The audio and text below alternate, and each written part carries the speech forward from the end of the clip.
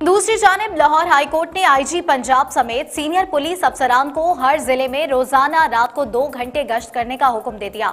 Chief justice Qasim Khan ने remark दिए कि सुबह के लोगों की सिक्योरिटी चाहिए। मामले पर गफलत बर्दाश्त नहीं करेंगे।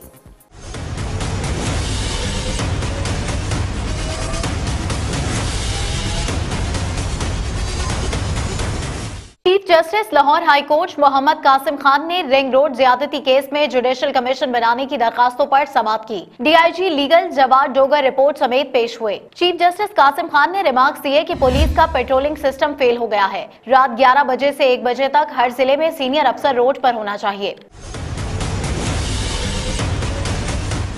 अदालत ने करार दिया कि अगर वो चीफ जस्टिस की हैसियत से अपनी अदालत में काम ना करे तो सिविल जज तोनसा से काम नहीं ले सकते। बताएँ आईजी पंजाब कितने दिन और किस किस वक्त गश्त करेंगे। पुलिस अफसर ने बताया कि निज़ाम पहले ही मौजूद है। चीफ जस्टिस ने अफसोस का इजहार किया कि पुलिस का जो सिस्टम है, उसमें रोजर जवाब आता है। मैं फला चौक में हूँ, बाद में पता चलता है वो अफसर घर बैठा खाना खा रहा है। मुझे लोगों की सिक्योरिटी चाहिए, मामले पर गफलत बर्दाश्त नहीं करेंगे। Chief justice Lahore high court Mohammad Qasim Khan ने फरीकैन के बुकला को आइंदा समात पर बहस के लिए तलब कर लिया।